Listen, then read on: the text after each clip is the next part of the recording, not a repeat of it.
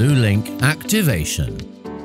Activating BlueLink will allow you to use various features in the infotainment system and the BlueLink companion app. Go to the Settings menu and click BlueLink.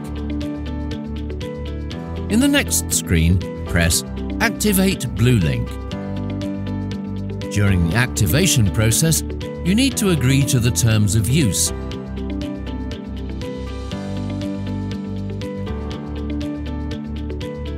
and read the privacy notice. Please confirm by clicking on Continue. After clicking Next, the activation process will start.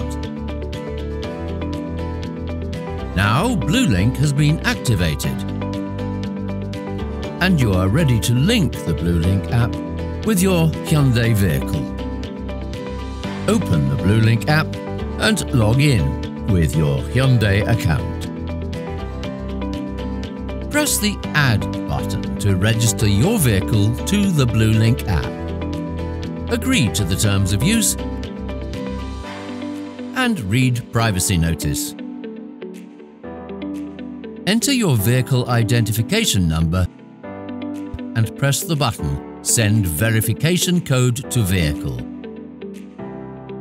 Now the verification code will be sent to your vehicle's infotainment system.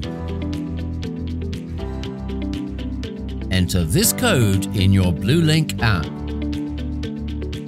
Finally, click the Add Vehicle button. Now your Hyundai vehicle has successfully been added to your BlueLink app.